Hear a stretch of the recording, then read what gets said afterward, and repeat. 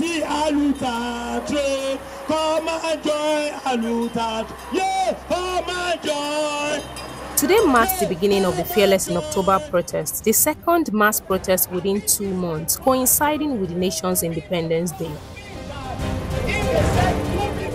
The protest represents a growing call for systemic change and a desire for accountability amongst citizens. We are here to celebrate our own independence, to tell the government that Nigerians are not happy. We are not happy, and President Tinubu must listen to us. He must listen to us. We are sending signals to them that the terrain is getting ripe every day, and very soon the masses will speak. Our demands are clear: reversal of fuel pump price, reduction in the electricity tariff, release of everyone still being incarcerated as a result of the embargo governance. Okay? National Assembly members should start receiving minimum wage too. All right? The federal government, Tinubu, should make sure that our four refineries begins to work. Those are our demands for now. This protest comes just weeks after the August End Bad Governance demonstrations where citizens rallied to address concerns about governance issues.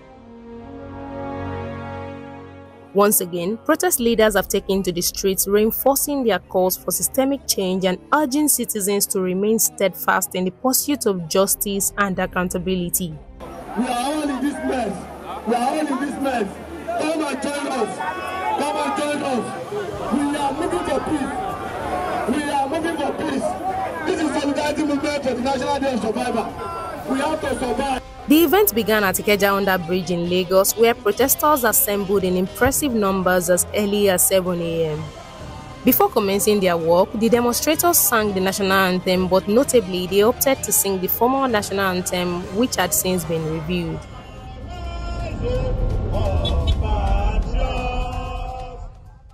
Following this, the newly appointed Lagos State Commissioner of Police, Ishola Lanre, addressed some protest leaders before they proceeded to march from Ikeja to Ojota, holding banners and chanting songs of solidarity.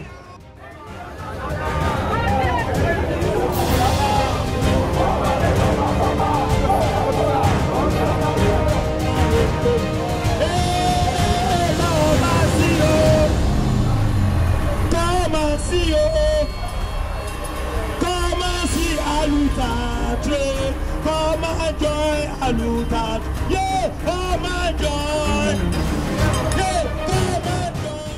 Participants displayed unity and shared purpose as they peacefully marched through Lagos undeterred by security measures. While the security forces were visibly present, their approach remained non confrontational, allowing the protest to progress without significant incidents.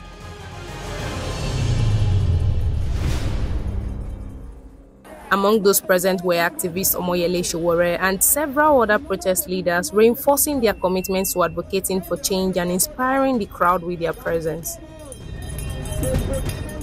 The Fearless in October protest showcased a determined effort by citizens to voice their concerns about governance and the state of the nation.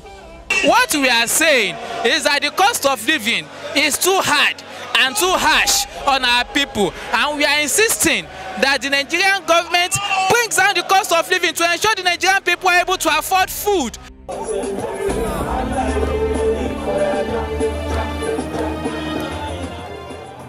The citizens are unwilling to back down in their quest for a better and more accountable governance structure.